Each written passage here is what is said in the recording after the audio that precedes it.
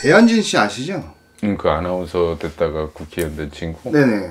이분이 향후 어떻게 될 것인지 거치라든지 요번에도 선택을 좀 잘하라고 하고 싶은 게 국민의힘에서도 이제 정권을 잡았으면은 어느 쪽으로 손을 잡느냐가 중요- 중요하겠지. 그러니까 나는 그 친구도 무당으로 보거든 나는. 그 친구도 왜냐면 직감이라는 그런 게 굉장히 좋거든.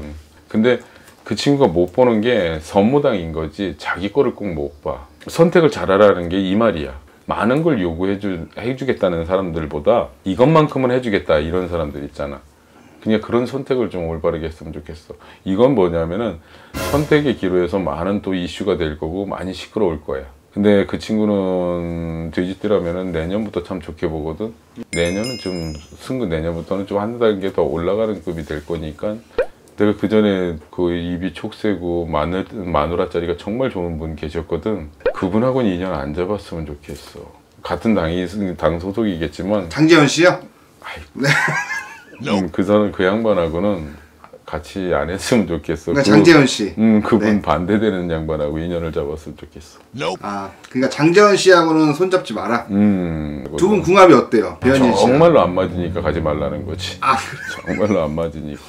근데 정말 선택을 잘했으면 좋겠어.